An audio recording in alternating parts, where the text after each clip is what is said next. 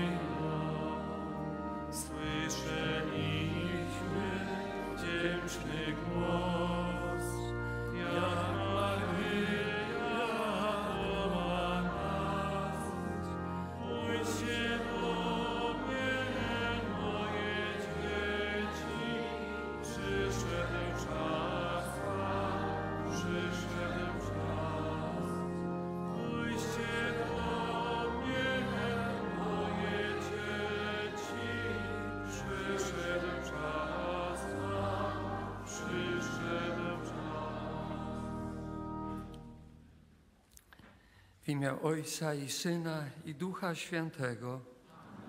Pan z wami. w pełni dziękczynienia i uwielbienia śpiew Maryi Magnifikat za wielkie dzieło, jakie Bóg czyni.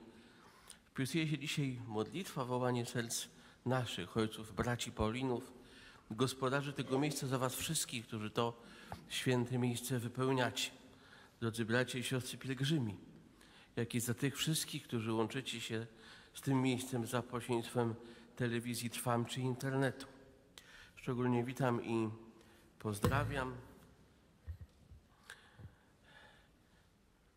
uczniów ze szkoły podstawowej w Dachnowie wraz z swoim księdzem, duszpasterzem, który w modlitwie naszej przewodniczy. Pozdrawiam pielgrzymów z parafii Świętej Rodziny w Poznaniu, grupa wraz z diakonem Maciejem.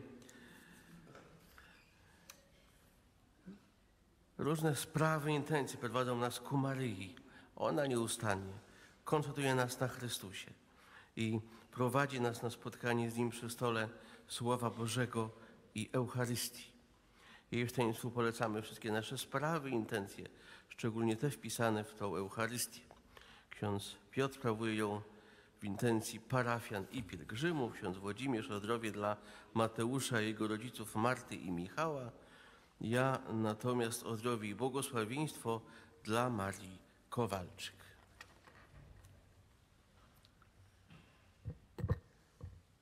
Obudźmy żal za nasze grzechy, byśmy mogli godnie uczestniczyć w tej najświętszej ofierze. Spowiadam się Bogu Wszechmogącemu.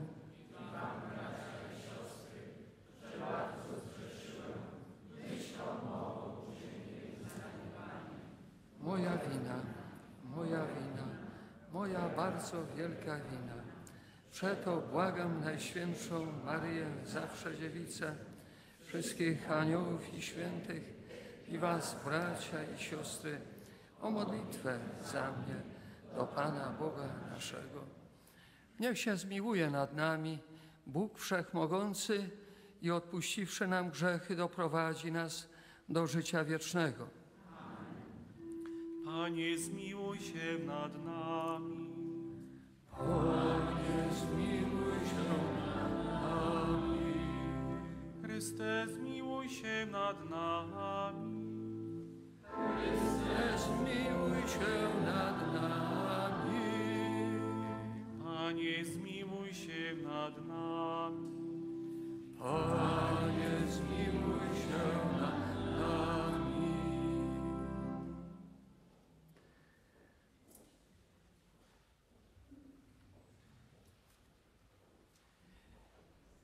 Módlmy się. Wszechmogący, miłosierny Boże, Ty dałeś narodowi polskiemu w Najświętszej Marii Pannie przedziwną pomoc i obronę, a jej święty obraz jasnogórski sławiłeś niezwykłą czcią wiernych. Spraw łaskawie, abyśmy na ziemi z zapałem walczyli w obronie wiary, a w niebie wysławiali Twoje zwycięstwo. przez naszego Pana Jezusa Chrystusa, Twojego Syna, który z Tobą żyje i króluje w jedności Ducha Świętego, Bóg przez wszystkie wieki wieków. Amen.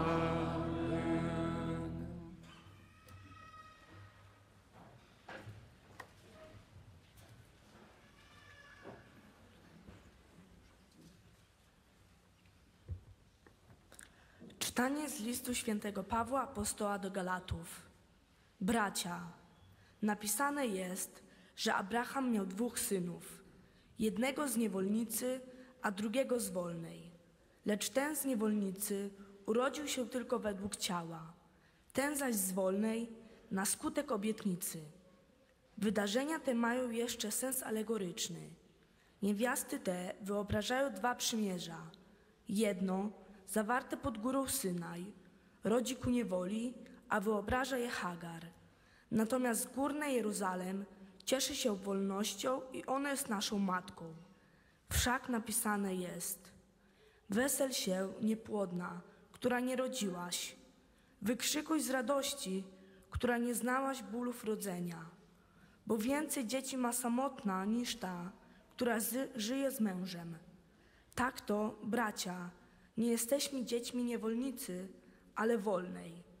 Ku wolności wyswobodził nas Chrystus, a zatem trwajcie w niej i nie poddawajcie się na nowo pod jarzmo niewoli. Oto Słowo Boże.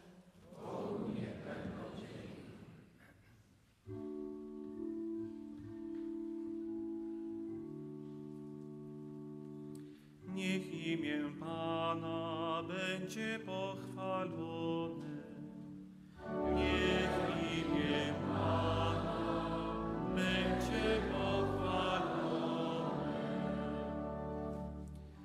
Chwalcie słudzy Pańscy, chwalcie imię Pana.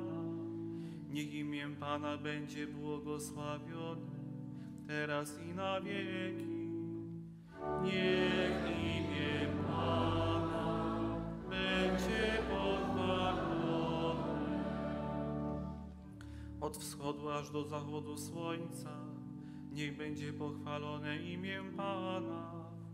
Pan jest wywyższony ponad wszystkie ludy, ponad niebiosa sięga Jego chwała. Niech imię Pana będzie pochwalone. Kto jest jak nasz Pan Bóg, co ma siedzibę w górze i w dół spogląda na niebo i na ziemię, podnosi z prochu nędzarza i dźwiga z gnoju ubogiego.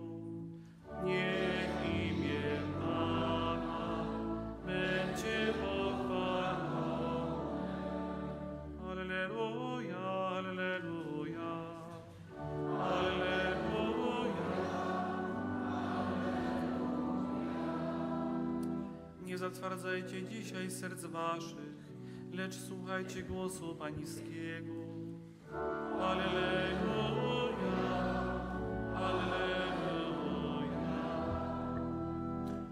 Pan z wami. I słuchaj Słowa Ewangelii według świętego Łukasza.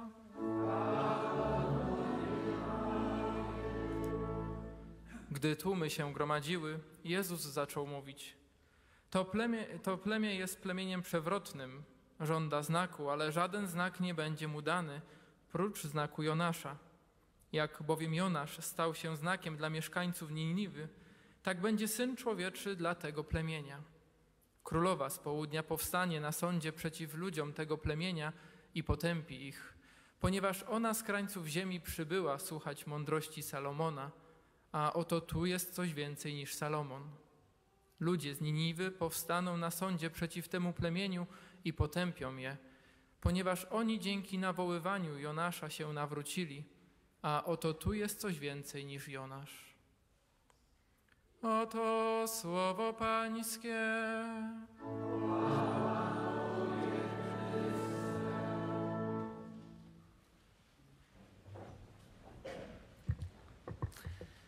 Oto tutaj jest coś więcej niż Jonasz, ktoś więcej. przychodzimy do Matki Najświętszej. Człowiek współczesny szuka znaków. Chcemy wszystkiego dotknąć, zobaczyć, sprawdzić.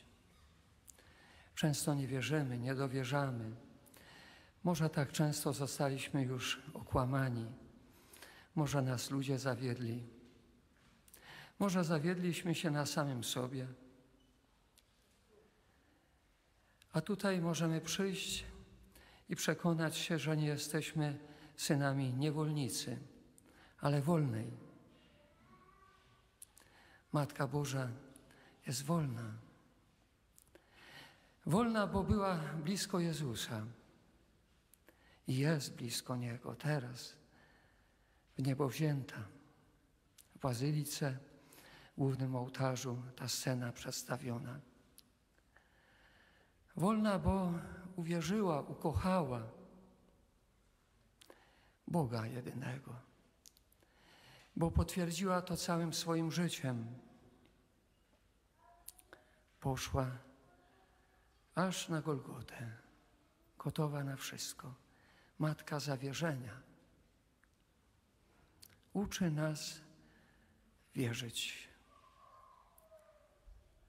Wierzyć Bogu, służyć Bogu.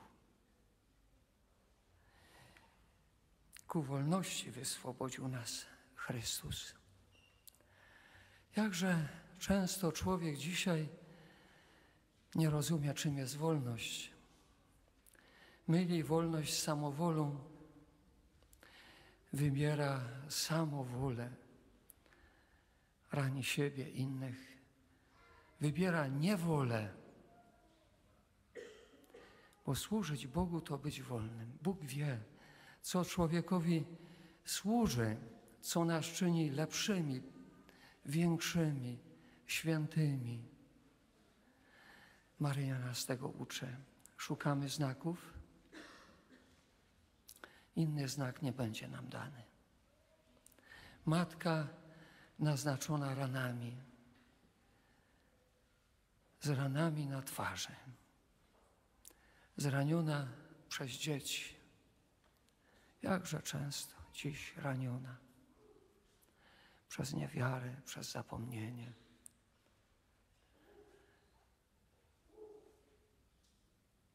Nie będzie nam dany inny znak.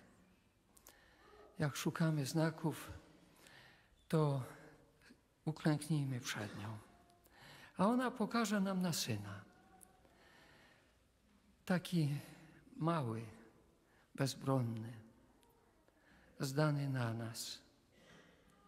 Pan Jezus jako dziecię. Popatrzcie, wskazuje na Niego.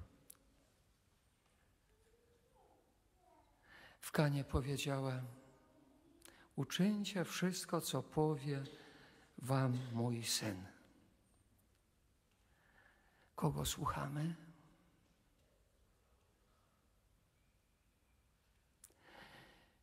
Za kim chcemy iść? Co chcemy wybierać w swoim życiu, każdego dnia?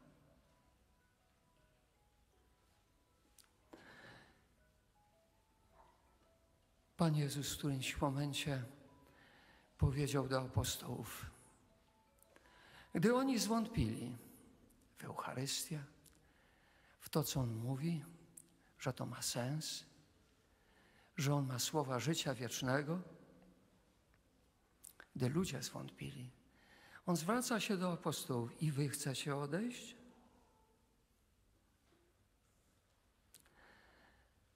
Piotr dał odpowiedź, Panie, do kogóż pójdziemy? Ty masz słowa życia wiecznego.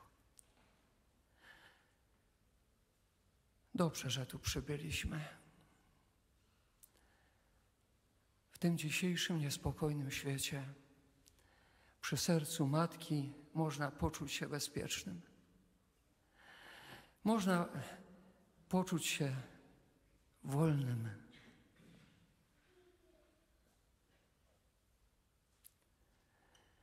I obyśmy stąd odeszli z takim przekonaniem. Gdy jesteśmy blisko Maryi, gdy jesteśmy blisko Jezusa, to jesteśmy i wolni, i bezpieczni. Świat nam tego nie da, ani szczęścia, którego szukamy. Popatrzmy z wiarą w jej oczy. Oczy matczyne, oczy kochające. Niech te oczy towarzyszą nam w naszej codzienności, naznaczonej może krzyżem, cierpieniem, chaosem, który świecie.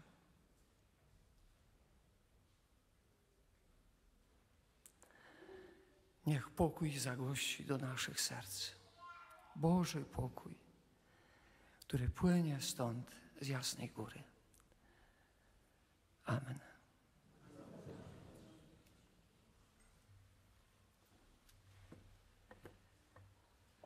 Módlmy się, wzywając wstawiennictwa Najświętszej Maryi Panny, przedstawiajmy wszystkie swoje sprawy tu, przed tym ołtarzem.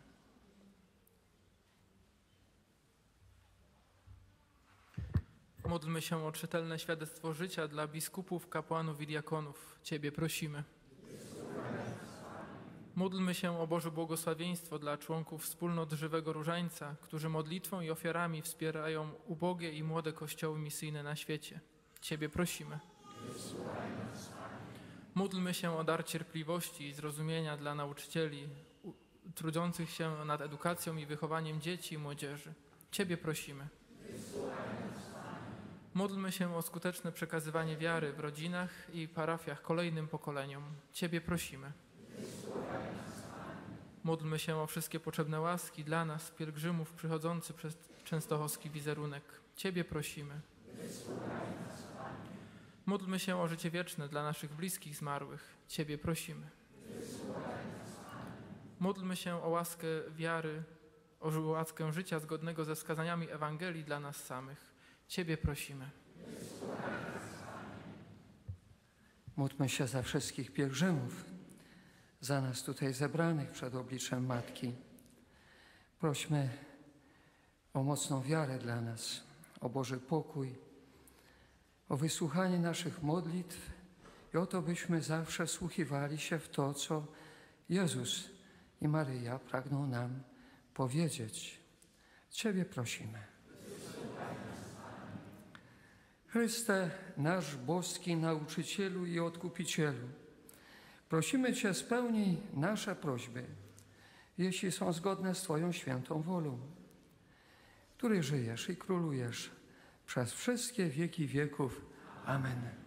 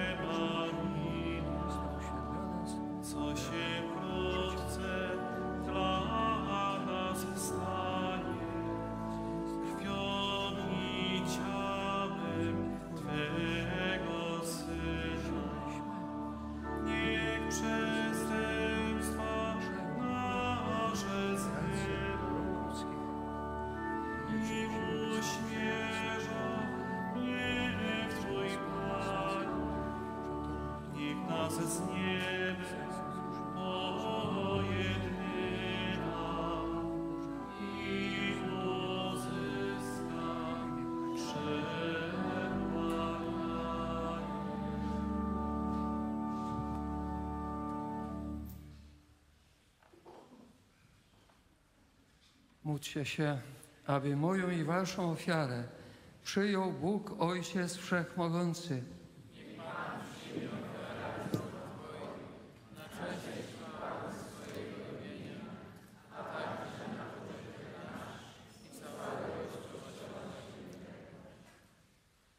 Wszechmogący Boże, Wyjrzyj z upodobaniem na modlitwy i dary, które Twoi wierni przedstawiają Tobie, oddają cześć Najświętszej Maryi, Matce Bożej i w swoim miłosierdziu udziel nam pomocy przez Chrystusa Pana naszego.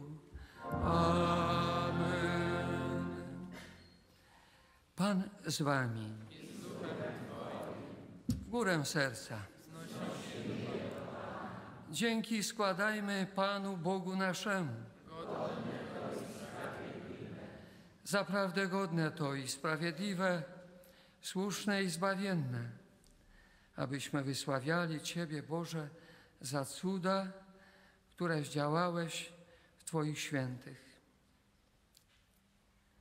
Oddając cześć Najświętszej Dziewicy Marii, dzięki składamy za Twoją dobroć, powtarzając jej hymn uwielbienia. Wielkie rzeczy uczyniłeś dla całej ziemi i Twoje miłosierdzie rozciągnąłeś na wszystkie pokolenia. Ty wejrzałeś na pokorę swojej służebnicy i przez nią zesłałeś ludziom Zbawiciela, Twojego Syna, naszego Pana, Jezusa Chrystusa. Przez Niego Twój majestat uwielbiają zastępy aniołów, którzy zawsze się radują w Twojej obecności.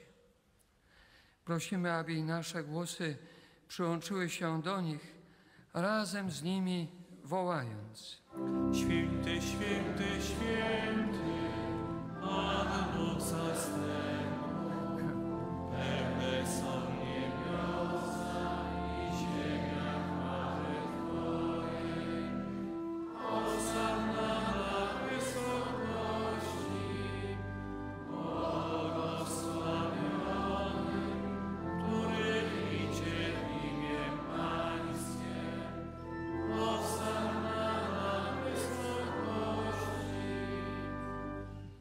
Zaprawdę święty jesteś Boże, źródło wszelkiej świętości.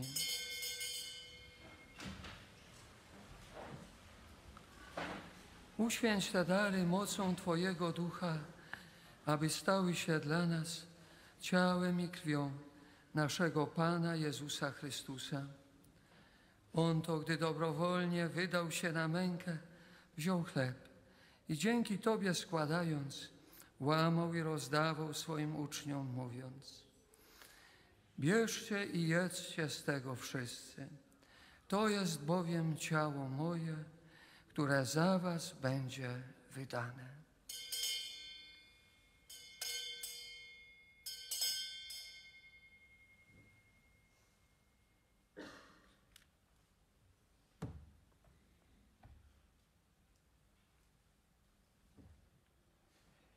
Podobnie po wieczerzy wziął kielich i ponownie dzięki Tobie składając, podał swoim uczniom, mówiąc: Bierzcie i pijcie z niego wszyscy. To jest bowiem kielich krwi mojej, nowego i wiecznego przymierza, która za Was i za wielu będzie wylana na odpuszczenie grzechów. To czyńcie na moją pamiątkę.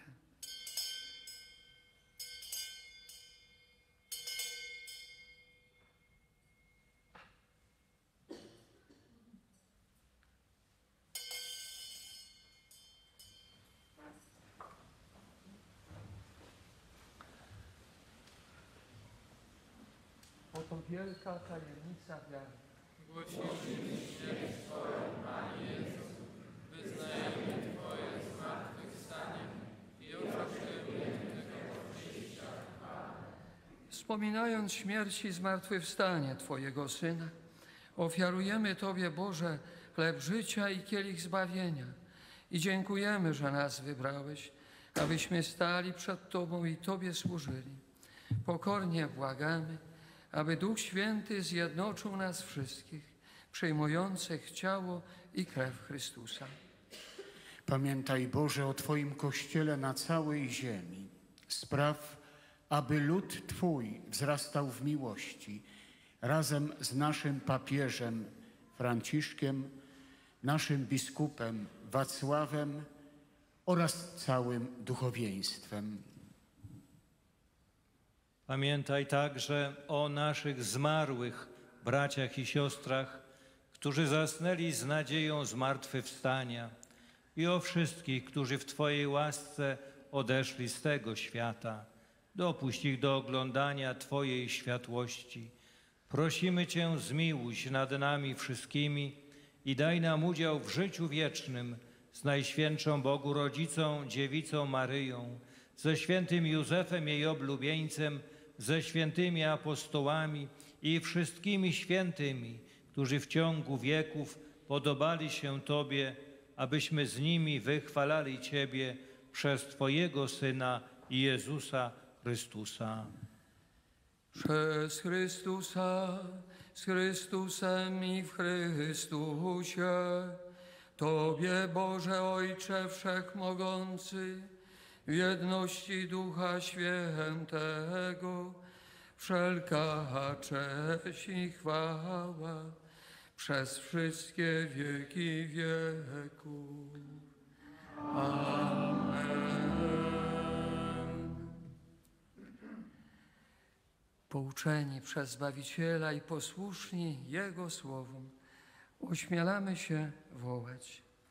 Ojcze nasz, któryś jest w niebie, święć się imię Twoje, przyjdź królestwo Twoje, bądź wola Twoja, jako w niebie, tak i na ziemi. Chleba naszego powszedniego daj nam dzisiaj winy, jako i my odpuszczamy naszym winowajcom. Nie wódź nas na pokuszenie, Wybaw nas, Panie, od zła wszelkiego i obdarz nasze czasy pokojem. Wspomóż nas swoim miłosierdziu, abyśmy zawsze wolni od grzechu i bezpiecznie od wszelkiego zamętu, pełni nadziei oczekiwali przyjścia naszego Zbawiciela, Jezusa Chrystusa. Potęgi Panie Jezu Chryste, Ty powiedziałeś swoim apostołom, pokój wam zostawiam, pokój mój wam daję. Prosimy Cię, nie zważaj na grzechy nasze, lecz na wiarę swojego Kościoła i zgodnie z Twoją wolą napełniaj go pokojem i doprowadź do pełnej jedności, który żyjesz i królujesz na wieki wieków. Pokój Pański niech zawsze będzie z Wami. Przekażcie sobie znak pokoju.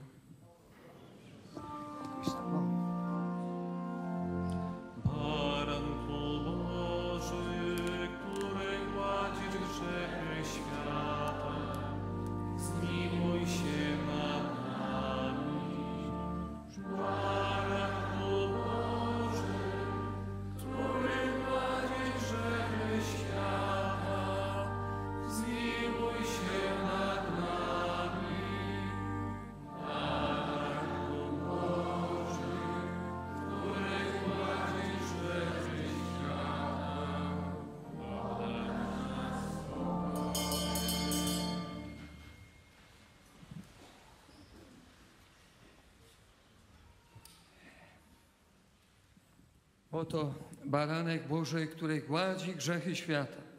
Błogosławieni, którzy zostali wezwani na Jego ucztę.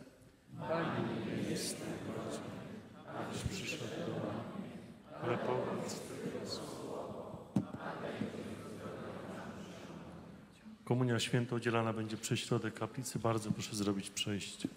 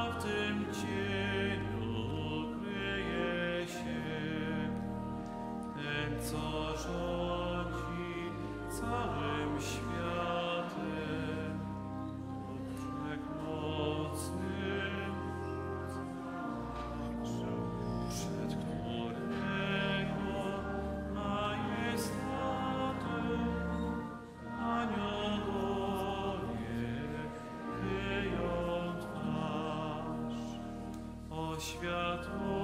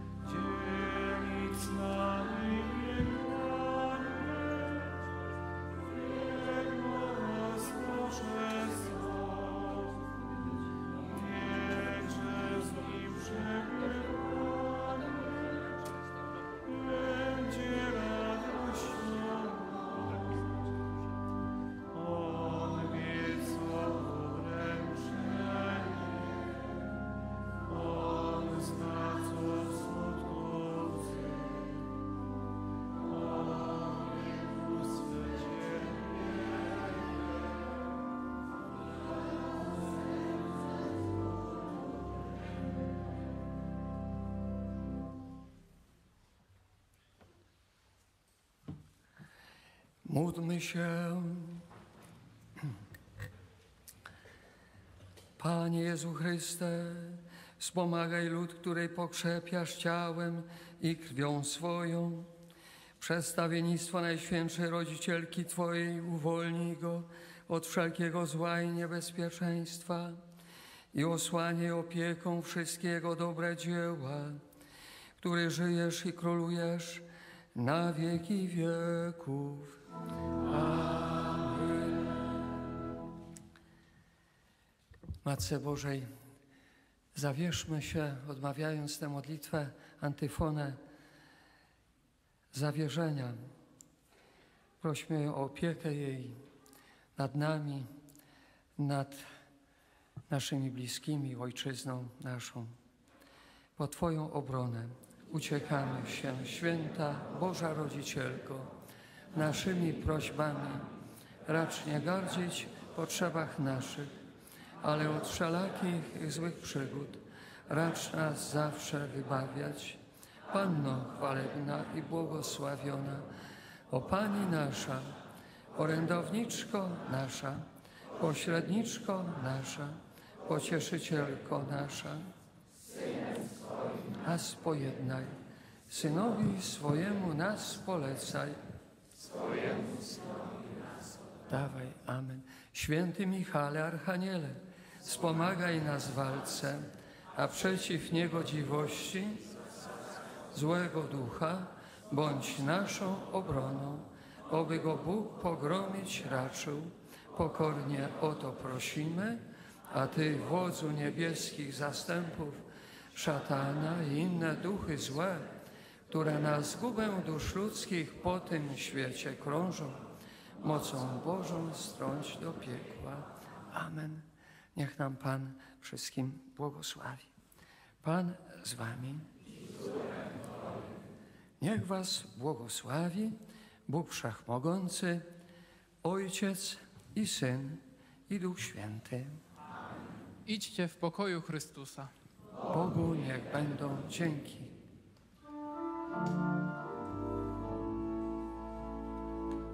Różańcowa Pani nieba ziemi, pozdrawiamy Cię głosy naszymi.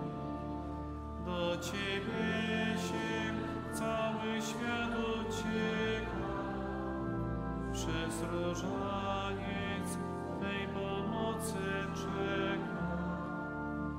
Różańcowa Dziewico Maryi, do Ciebie się cały świat ucieka, przez różaniec